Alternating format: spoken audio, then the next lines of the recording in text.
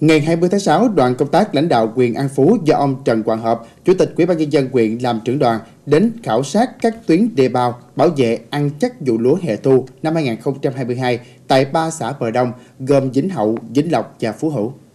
Đoàn đã khảo sát đoạn đê sung yếu ở tuyến đê đập tràn, tuyến kênh 7 xã thuộc xã Vĩnh Hậu, tuyến kênh Vĩnh Lợi, xã Vĩnh Lộc và kênh 5 xã, xã Phú Hữu. Qua khảo sát trong khu vực này có 8 điểm sung yếu, hai đoạn sạt lở cần khắc phục trước khi lũ về. Hiện nay, các công trình xây dựng đập tràn và các cống thuộc dự án VKB9 đang triển khai thi công. Tuy nhiên, để đảm bảo lúa vụ hè thu được thu hoạch trọn vẹn trước khi lũ về, Chủ tịch Ủy ban nhân dân huyện An Phú đề nghị Phòng Nông nghiệp và Phát triển nông thôn phối hợp cùng địa phương giám sát chặt chẽ và đôn đốc đơn vị thi công để nhanh tiến độ thực hiện các công trình, nhất là ba công lớn thuộc xã Vĩnh Hậu và Vĩnh Lộc. Hiện nay đơn vị ngừng thi công và thi công không đảm bảo, riêng hai đoạn sạt lở thuộc tuyến kênh 7 xã Chủ tịch Ủy ban nhân dân huyện An Phú yêu cầu Phòng Nông nghiệp có phương án khắc phục nhanh chóng, cần thiết di dời các hộ dân lên cụm tuyến dân cư nhằm đảm bảo an toàn tuyệt đối tính mạng và tài sản cho các hộ dân.